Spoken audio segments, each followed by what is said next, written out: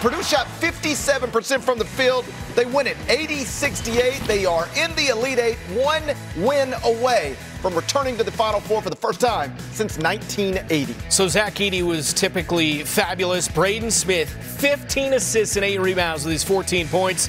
Lance Jones, 12 points. What a transfer he has been. 32 and 4, and once again, a sigh of relief. They are back. As you mentioned, first time in five years into the Elite Eight. Good win for Purdue and to get that separation late and get a double digit victory. Yeah, I'm happy for Purdue. But for me, it was the fact that they Zach Edey wore down the Zags the whole game. You know, Graham Ike, he played well. He had 18 and 10, but he had five fouls. Anton, Anton Watson, played okay, five fouls. So over the course of the game, he was wearing them down, and then you know eventually he got to the free throw line. He was doing great. But at the same time, everybody chipped in. Chipped in. You know, Loyer hit some threes. Braden Smith, he had some good offensive rebounds. He hit some key threes at some points. Lance Jones, he was all over the place. So this was a key effort. Everybody filled the boxes uh, in the stat sheet, so it was a good win. Two great offensive teams. Gonzaga averages 85 a game. Purdue 84 is like the shootout at the OK Corral. Okay, but shooting makes up for multitude of sins. The late great Chuck Daly said that. And uh, Purdue, number one in the country in three-point shooting. Brent, as you know, you're yeah. a scholar of the game. Mm-hmm. You know they shot nine for 20, 45 percent from the field. They usually shoot 41%. Unfortunately, Gonzaga didn't do it. They shot 6 for 19. So the shooting, the inside game, Roy, as you mentioned, he's a wrecking machine in it. Yeah. He's a giant. How do you play the guy? I mean, uh, it's like guarding you. You were tough to guard. you, you, well, I wouldn't want to play against you, but no, a great effort. Purdue, once again, remember Virginia, okay? My old school. They threw me in the ocean. I still love the school, okay? Virginia got beat by UMBC. What happened the next year, Brent? National title. What happened to, all right, Purdue? First, uh, Tobin Anderson, friend of mine from Fairleigh Dickinson, upset mighty Purdue. You never know. Purdue might be on a mission. I'm just trying to say history repeats itself. They're, they're close to doing it, or at least they're close to being in a position to do it. For much of the season, um, Houston, of course, but Purdue UConn have alternated between the top spot in most human polls and human rankings. And so far in this NCAA tournament, they look with all due respect to everybody else, those two programs look like yep. they're on a collision course for the national championship game. They're not just winning these games to advance. They're beating good teams badly. Yeah, they are. And the thing a year ago at this time, it was okay, that young backcourt, too many mistakes. And here we are. Braden Smith, 15 assists, gets into double figures. Fletcher Loyer, big threes. They were 9 of 20 as a team from downtown.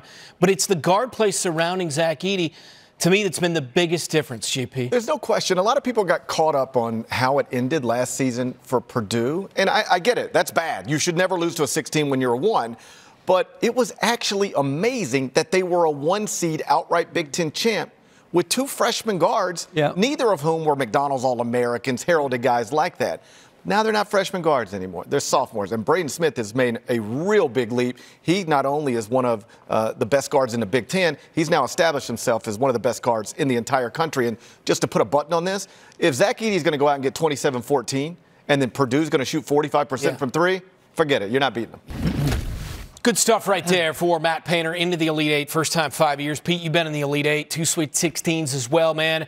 What's that feeling at that podium after a huge win like this? It's unbelievable. I, I was fortunate uh, at Xavier. We went to the Sweet 16. We played Texas in Dallas. They said it was a neutral site. I wasn't great with geography, but they beat us. They were better. Tom Penders did a great job at Texas. Then, when I was at Providence, uh, you know, in 1997, we were fortunate to go to the uh, Sweet 16. We beat Chattanooga, who upset Illinois mm. And Georgia, and we beat them. We went to the Elite Eight. So it's, it's a great feeling. You know, there's less pressure when you get to the Sweet 16. Why? The pressure is the first game. You win the first one, you feel pretty good. You win the second one. So there's let more pressure, I think, in the first or second game than in the Sweet 16. So uh, it was a great feel. I was fortunate. Uh, good players make good coaches. So we're fortunate. But uh, I'm happy for Matt Painter. You know, Mark Few's a great coach. Yeah. I coached against him when I was in Virginia. His second year, my third year, uh, when he was at Gonzaga, they beat us by one in Memphis, right near your hometown, Mississippi. And, uh, you know, he's a, a great offensive coach, 85 points a game but they only had 68 tonight. So credit Purdue. Purdue's a great offensive team. Yeah. No question. Right? Second in the country assists, 19 assists a game, 24 today, as you mentioned before. Braden Smith with 15. But Purdue plays a pretty good defense. I love Braden Smith. little feisty guy. He'll Yeah. bite you in the, in the ankles. You knock him down, he'll bite you in the sneaker. He's feisty. So uh, you got to give him some credit. I mean, you're the big dog. When you got the rock, you love the little guy. Yeah, yeah, you get- Hope you took him out for a hamburger once in a while. Oh yeah, you definitely gotta you know appreciate the people that get you Exactly. the ball. Give him you the big dog to rock. So, Yeah. uh, Braden Smith, I love. So, great win for Purdue. I'm happy for him after getting all that grief Right. last year, getting knocked off by Fairleigh Dickinson. Well, for me, like listening to that presser, to me it was the, the Coach Painter talking about you know keeping the turnovers 13 or less, you know, and that made me just think about the importance of Braden Smith. You know, the last time they had like a, a loss against Wisconsin, it was 76 to 75. They had 15 turnovers that game. That was the last time they lost. But also Braden Smith in the turnover situation from that is hearing Zach Edey talk about how Braden has been able to set him up, get him the ball. I think about my point guard John Wallace. You should make sure he found me every two, three plays down the down the court. So for me, it was very important to hear that stat, and going forward, I must pay attention to those turnovers. Yeah, it was 26 and 0 according to Matt Painter when they commit 13 or fewer turnovers in a game. They only average 10.7 per game on the season, so they don't get above 13 too often. Just nine in this one. So think about what we're dealing with right here. In part because of Zach Edey, but not completely because of Zach Edey. But certainly he's the biggest part of it. This is a top 10 offensive rebounding team in the country mm-hmm. and a top 20 defensive rebounding team in the country. And then they don't turn the ball over either. Right. So that's how they're getting a lot of extra possessions, Right. and you're not getting very many.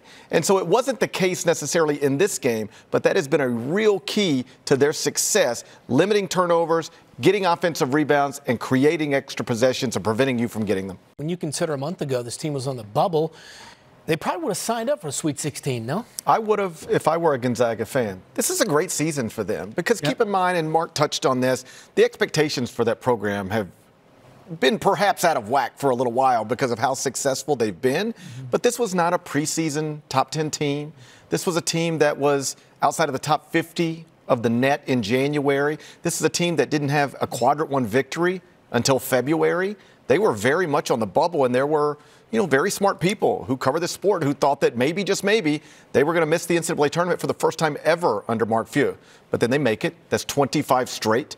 Then they advance to the Sweet 16 for the ninth straight NCAA tournament, and they keep these very important nationally relevant streaks alive and head into next season trying to extend them. But given where they ended up, based on where they were, say in early February, you got to be really happy. Not with losing like this, that always hurts.